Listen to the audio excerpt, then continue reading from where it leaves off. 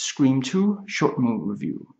It's been two years since the event of the events of the first movie, and in the meantime, Gale Weathers has written a book about it called The Woodsboro Murders, which has done quite well, and it it's become a film. So we generally have, you know,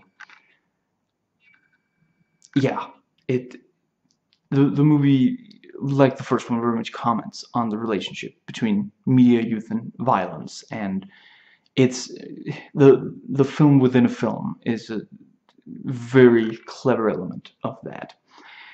And someone has started killing again, and Sid becomes a target yet again. She, you know, she, yeah, she every of other survivor of the first film rejoins her and yeah, try to figure out who it is and how best to stay safe.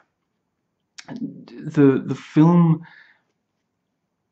is is one of the the great sequels that kind of understand what made the first one work and you know do some of the same things but make clear that it's not just the same thing although some do find that it's too similar still.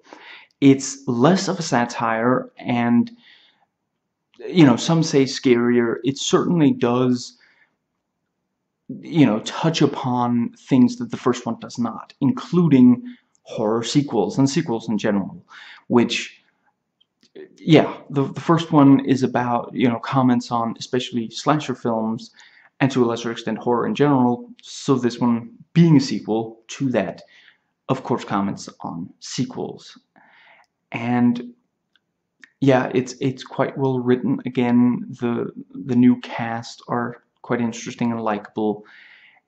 And yeah it's it's again just really compelling satire.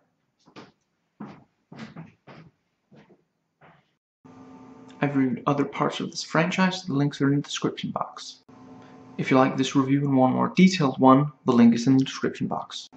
Please comment, thumbs up, and subscribe for more content.